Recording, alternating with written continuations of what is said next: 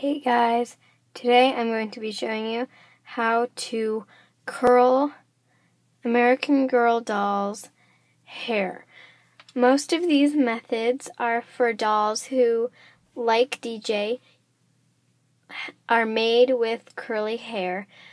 You can try these methods on dolls without curly hair, but they won't have as good results as with dolls who are made to have curly hair and they just lost their curl. So let's get started. First, take a brush and just brush your doll's hair out until there's no tangles. As you can see, DJ's hair has lost most of its curl. It's still a little curly at the ends here, but she did have a lot more a lot more curl. So we are going to try and revive that today. The first method, you take one of your doll's curls, like this. Then you take a strip of cloth. It should be um it should be a little thinner than this, but um like this. And then you take the curl, straighten it out, and then put the end of her hair on, like, put the end of her hair on the back of the strip and start curling upwards. So I'll show you again. Take the strip, put it on top of her hair at the end. Make sure it's in the middle and then roll upward. Once you have it like this, take the two ends and tie a knot like like this on the top of her head. This method works better if you spray the hair with a spray bottle with water.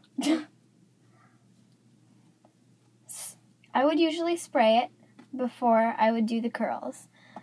Then, after you have done one curl, just go ahead and do that with all of the curls on your doll's When head. you're done tying up all of her hair, it should look something like this. Now, wait like overnight and then untie your knots. So don't make your knots so tight that you can't get them off, get them untied. And don't do like a double knot or anything like that. Just a simple knot. and if you don't have strips of fabric, you can use like teared up pieces of paper maybe or a better option would be like a paper towel. This is what it looks like when you take the curls out. Another method is to take a curl of your doll's hair. You can spritz it with with water. You don't you don't have to. Um, this this method is for dolls who already have curly hair. So you want to take it and then twist twist it like this. Hold it there for a little bit and then let it go.